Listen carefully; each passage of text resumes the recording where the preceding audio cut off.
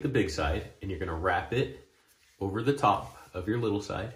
And then you're gonna keep that coming around the back and then you'll bring it up and put it down through the hole right here. Okay, you'll cinch that side down and then you can take this side and you'll bring it up again and put it down into the hole again, like that. Then you'll tighten it up to form up a nice triangle like that.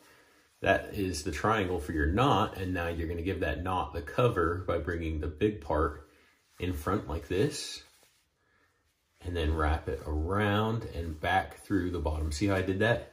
Around, and then back through up the bottom, like this, and then you're gonna take this and tuck it right in the hole there.